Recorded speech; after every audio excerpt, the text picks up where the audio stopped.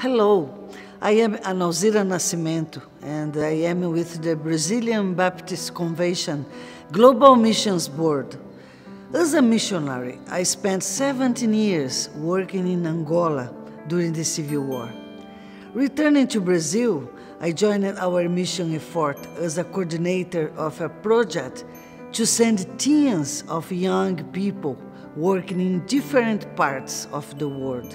My field work and experience made me reflect on mission elements of these cross-cultural interactions which lead me to reevaluate and uh, redefine my missionary journey. I went back to my graduate studies and the research done for my PhD thesis resulted in the work presented here.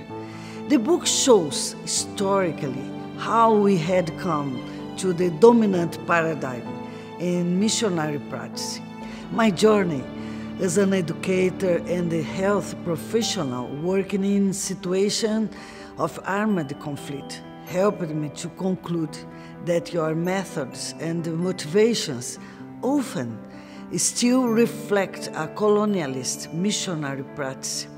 In our encounters with the other, having this obsession of fulfilling an ecclesiastical agenda or fulfilling goals, we sometimes make the other invisible, failing to recognize him or her as a subject and reducing him or her to an object.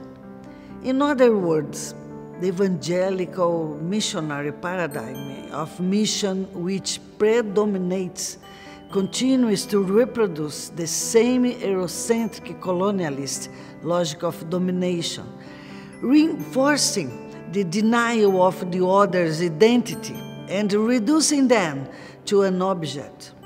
Our motivation sometimes is the sole commitment to meet and fulfill our own objectives. The other is seen as an object, just a target of the mission that will eventually serve to demonstrate whether or not we reached the mission goals of our group. This book bases its relevance on the fact that in times of extreme polarization, the need arises to put ourselves in our neighbor's shoes and see the world through their point of view. To accomplish that is without a doubt the great differential of proposal for a decolonized approach that resignifies the missiological paradigm.